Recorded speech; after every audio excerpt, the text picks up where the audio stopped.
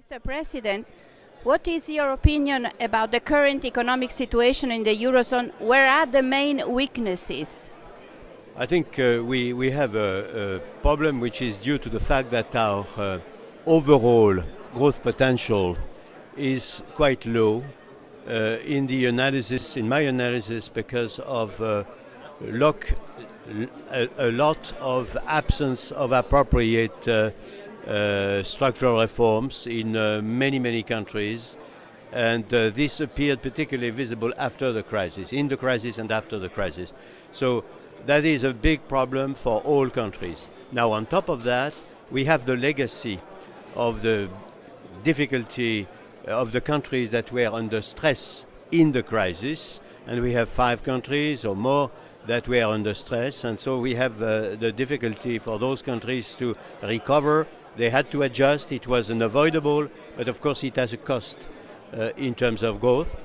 And we have another uh, element which is, uh, which is important, which is the fact that the countries that have room for maneuvering, that were not under stress, that have uh, a large uh, uh, amount of current account surplus, for instance, have themselves a difficulty to restart actively their domestic demand and therefore their growth and job creation. So we have this combination.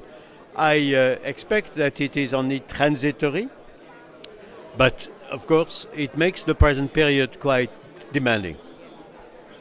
Most economists are warning that we are approaching uh, the point of no return on the risk of deflation. What is your opinion on this and shouldn't it warrant a new action by the ECB?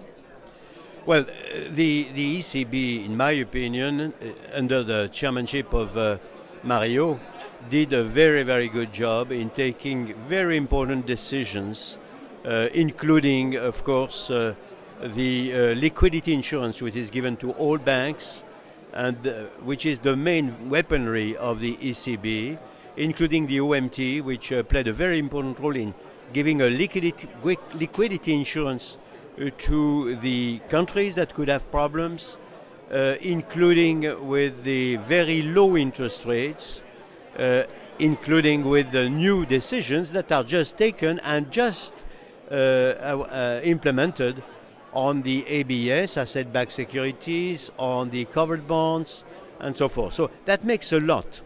Uh, what is bothering me a little bit is that part of the market is permanently saying it's, uh, it's not sufficient when the, the, start of the implementation of the previous measure is, is only going on. So I would say all this is uh, remarkable. Uh, we should not trust that the ECB has a magic wand and can solve all problems, it is not true. The magic wand does not exist. The magic wand is the combination of the good policies of the ECB.